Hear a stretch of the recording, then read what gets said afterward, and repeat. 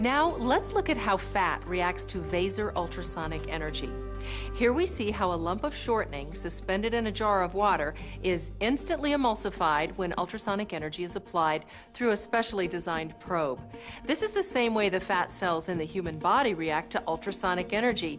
Yet, you can see how this gentle energy comes into direct contact with a finger without causing harm.